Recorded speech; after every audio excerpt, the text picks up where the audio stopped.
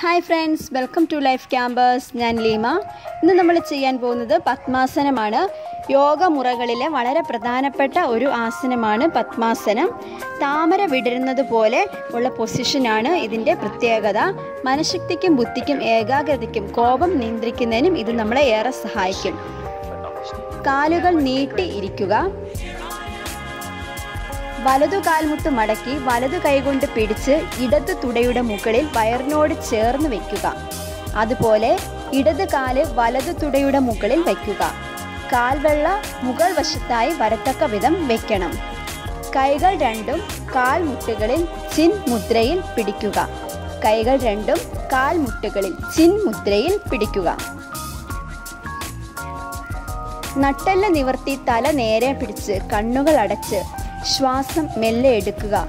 സാവകാശം ശ്വാസം എടുക്കുകയും വിടുകയും ചെയ്യുക.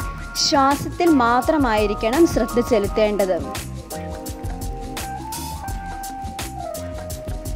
ഒരു പത്ത് അല്ലെ പതിനഞ്ച് മിനിറ്റ് വരെ നമുക്കിത് ചെയ്യാവുന്നതാണ്. കൂടുതൽ സമയം ചെയ്യുമ്പോൾ അതനുസരിച്ച് നമുക്ക് റിസൾട്ട് കിട്ടുന്നതായിരിക്കും.